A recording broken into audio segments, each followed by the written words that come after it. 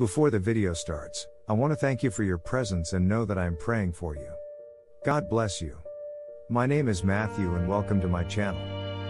If you are a US citizen, I would like to give you a gift. This video gave you the opportunity to win a $250 gas gift card, claim in the pinned comment. Prayer is the only way to perform miracles. Miracles can come in many shapes and forms. They can be as simple as getting the call you've been waiting for, or they can be as monumental as a clear guide to specific decisions in your life.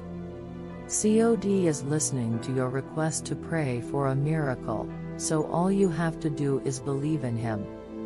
God of all, thank you for another day. I thank you for every moment of your life as a gift and I thank you for everyday bread. Thank you, all good things come from you, only you. Thank you for your support in my life.